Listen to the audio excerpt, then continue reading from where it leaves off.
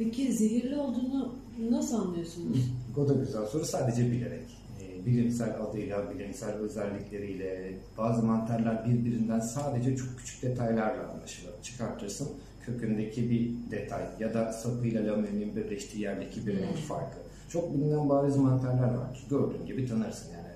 Doğada toplayan. Belki. Belki kanlıca. Türkiye'nin milli mantarı. Bizimkilerde ayı mantarı diye bir tekme atıp geçiyor. Onu yaşatan mantarı bir tekme atıyor. Eyleme kardeşim mantarı. Yani ne yaptı o sana?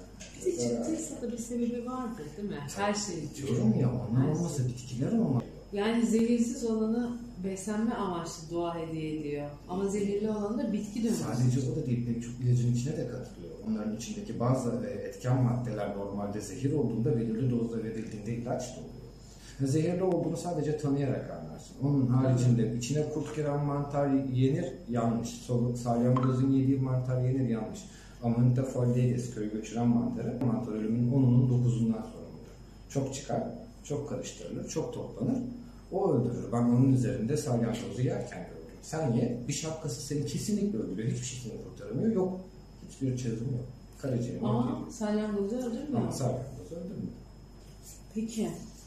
Başka ilgi alanlarının da var onları biliyorum. Var, bitkiler, Bitkiler, doğal, yenilebilir bitkiler. doğal yenilebilir bitkiler. Şimdi Evet. onları nereden öğrendim? Onları annemden öğrendim. Açık açık annemle beraber çocukken çıkardık. Biz lavada toplardık, gelincik toplardık. Gelinciği sadece çiçek olarak bilirsiniz. Gelincik müthiş şifalı bir bitkidir. Gençken toplandığında.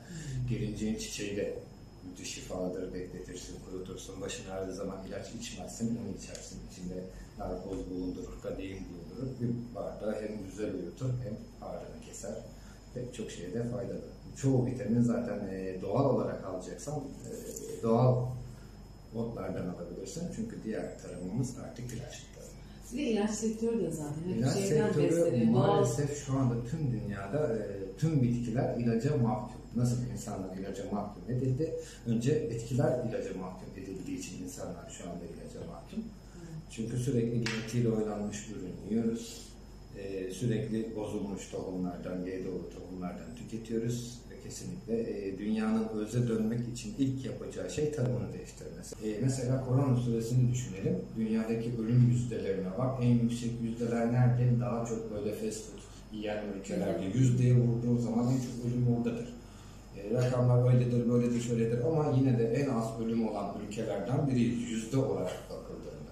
Hastalanan kişi, kişi sayısına göre neden? Hala e, ev yemeği yiyoruz, hala tarhana tüketiyoruz, hala baharatları kullanmaya ya da doğal yapabiliyoruz. salçamızı yapmaya devam ediyoruz. Daha dirençliyiz.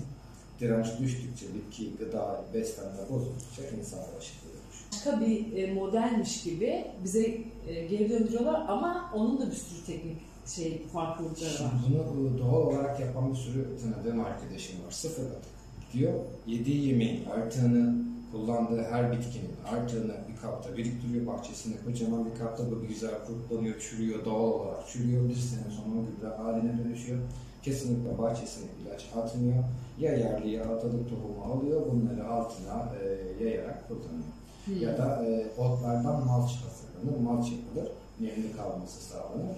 İlaç atmazlar. Bahçedeki otları yolar, oraya geri örtü olarak. Yani kendi beslediği gibi. toprağı da besliyor. Toprağı da besliyor. Hep üstü kapalı olduğu için nemli tutuyor. Aynen. Hmm. Mümkün her şekilde. Bakteri, altları hepsi duruyor. İlaçsız tarım. Yani bu Mümkün. konuştuk ama mü- mümkün de ne kadar mümkün? Olmak. Yani kendi yapanlar en azından onu yapmalı. İlaçsız beslenme. Yoksa devam. Helal. Hayır bak kendin için ayrı.